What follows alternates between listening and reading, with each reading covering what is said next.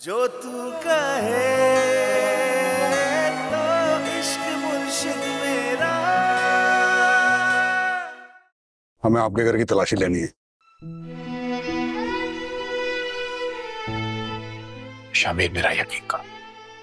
ये जिसने भी किया होगा ना छोड़ूँगा नहीं मैं उसे।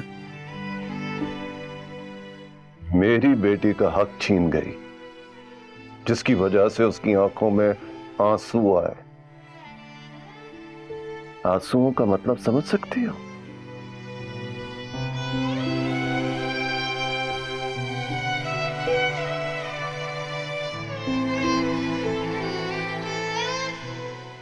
जो तू कहे।